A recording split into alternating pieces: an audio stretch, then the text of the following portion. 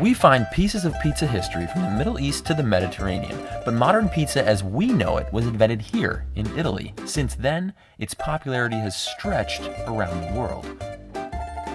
Of course, this world isn't round at all. It's flat, and like every flat map, it's distorted, because to match a spherical surface to a flat map, you've got to fold it, stretch it, or even worse. In 1827, Carl Friedrich Gauss described why using plain old geometry, and that's why we fold a piece of pizza to keep it from drooping. A flat sheet and a round surface have different Gaussian curvature. Gauss will look at a slice of pizza and say that it has no curvature in this direction or in this one. Zero Gaussian curvature. An egg? Gaussian curvature in both directions.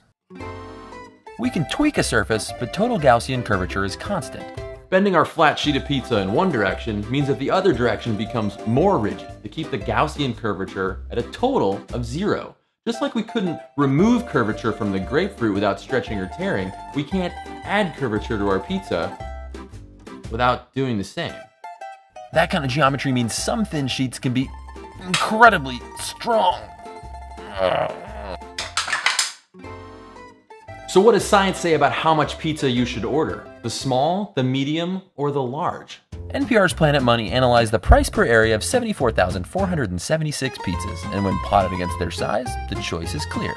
Want the most bang for your pizza buck? Always order the larger pizza. Factoring in pi, the area of a pizza increases with the square of its radius z. So while the larger pizza is just 50% wider, it's got 100% more area than the smaller pizza. You can't see it, but a microwave cooks your food using light. It's just that microwave radiation is a longer wavelength than the infrared that your oven uses. You can even use a microwave and a pizza to measure the speed of light.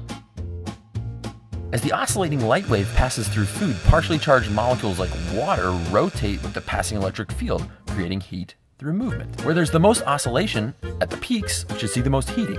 Where there's no oscillation, at the nodes, no heating. Here's how to do this at home. First, take out the rotary tray or inactivate it, then put the pizza in the microwave. Then just turn it on at low heat and let it go.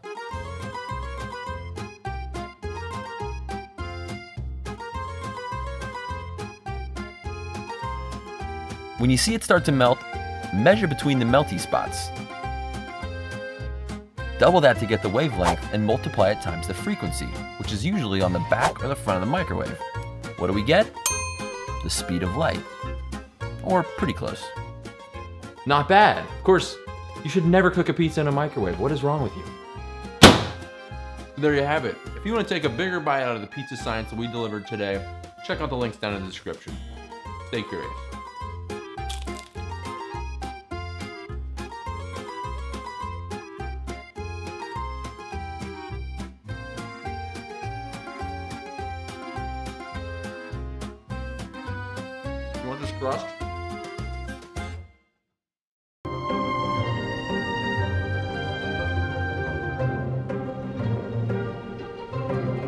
Different species of bats eat pretty much every kind of food there is, but the bats that live here are insectivores. Now, a single Mexican free-tailed bat only weighs about as much as two quarters, but all in all, this population will